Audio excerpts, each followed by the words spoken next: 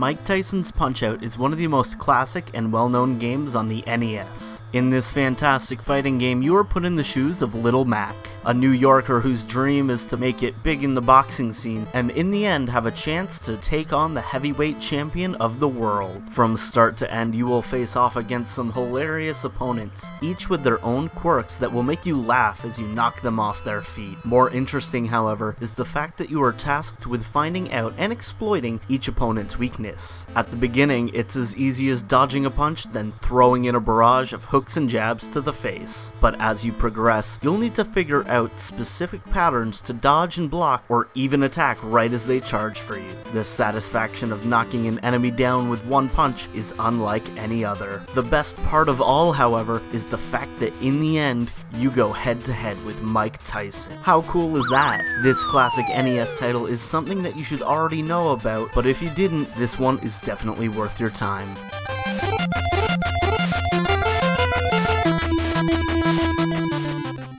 Thanks for watching another episode of 1 Minute Nintendo Reviews. Click the annotation on the left to watch the entire playlist, and be sure to subscribe as new episodes come out every Friday.